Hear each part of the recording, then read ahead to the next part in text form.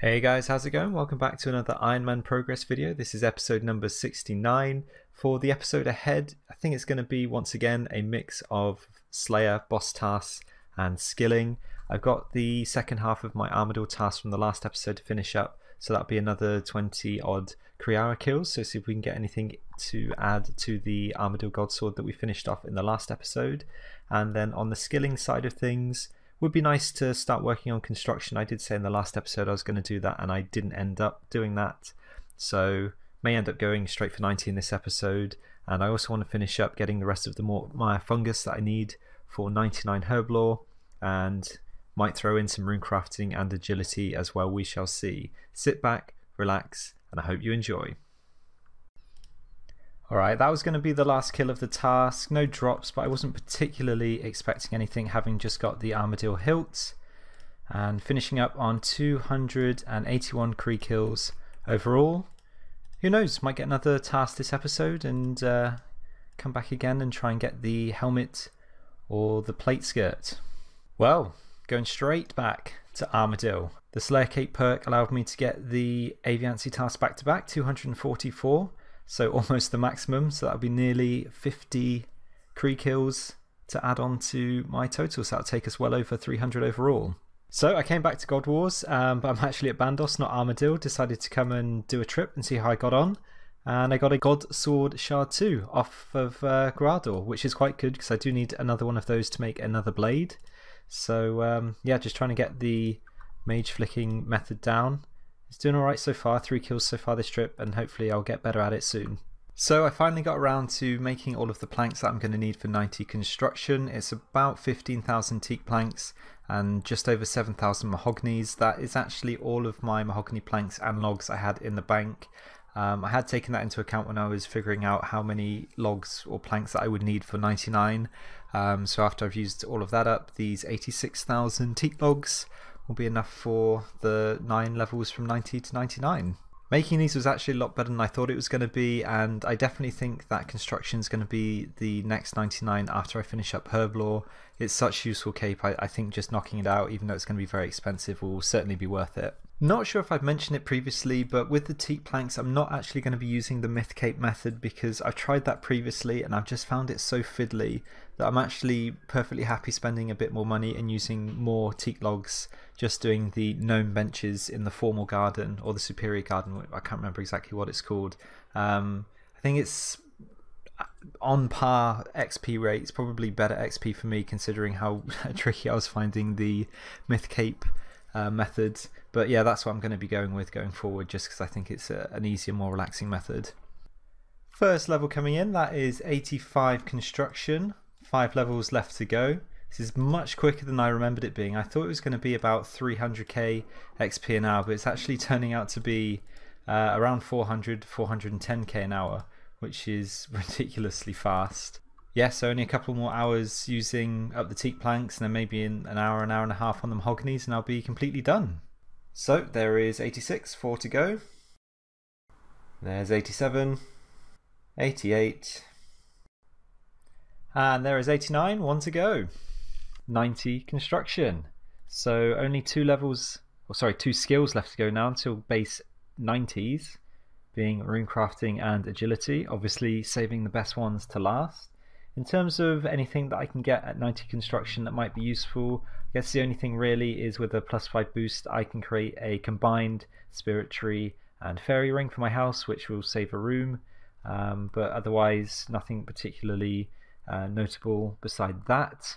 The XP per hour was ridiculous. I was getting like 830k using uh, the mahogany tables as a training method, and that definitely wasn't even as uh, as good as it could have been. Definitely messing up some of the ticks.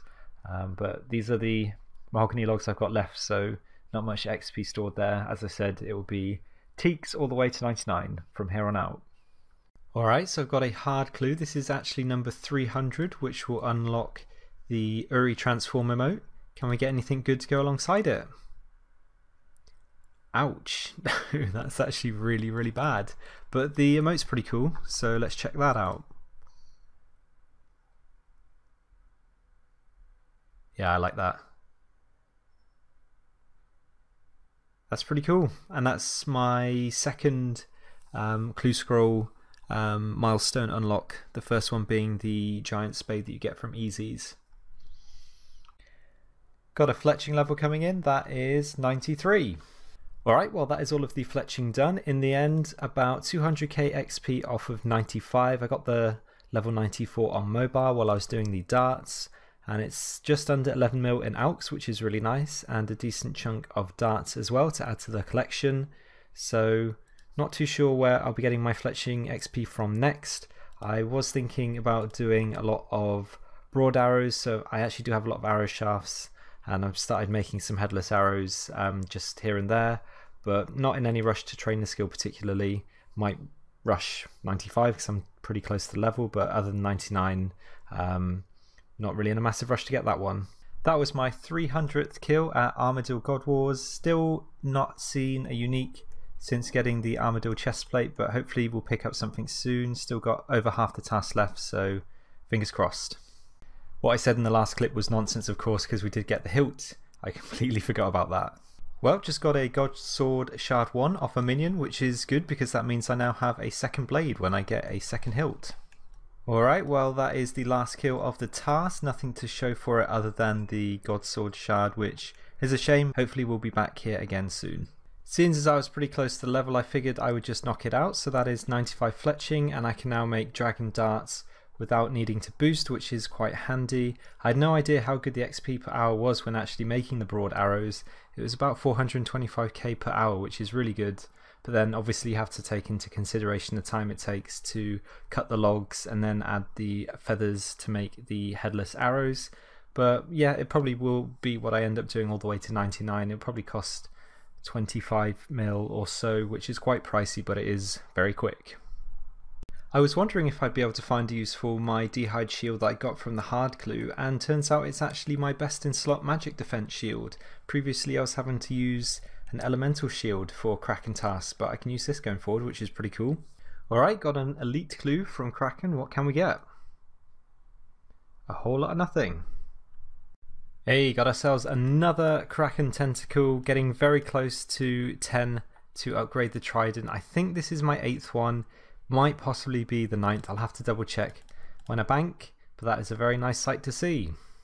And it is number eight, so two to go, and I can upgrade the trident. Alright, we picked up another Greater Demon task, so we're going to finish off the episode with some Zammy, looking for the hilt, of course. And I think this will take us over a thousand KC, so fingers crossed we can get it.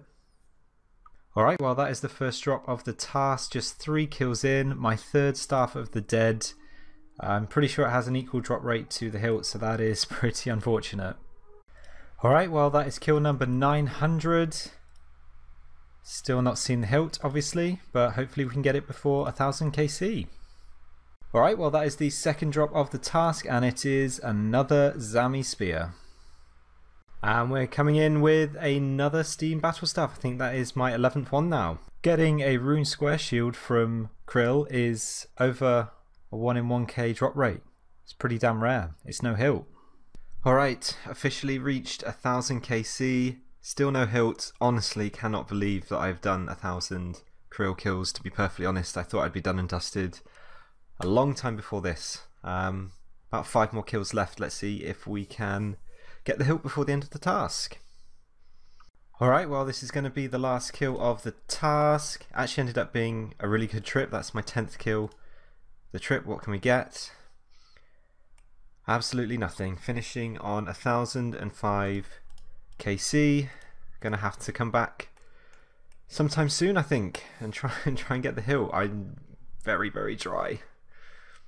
And that is it for today's episode. I hope you have enjoyed watching. I have literally just picked up a back-to-back -back Greater Demon task with my Slayer Cape, so in the next episode, probably going to head back to Zammy and see if we can uh, finish up getting the hilt from there. But actually, the main priorities for the next episode is going to be firstly completing Song of the Elves and exploring some of the new content in Prifddinas, and then cracking on with Herblore because I do want to get 99 in the next episode. Still haven't collected the rest of the Mort Myre fungus that I need, but once I have that, um, I can just start making the potions and working towards 99. Thanks again for watching, and until next time, take care.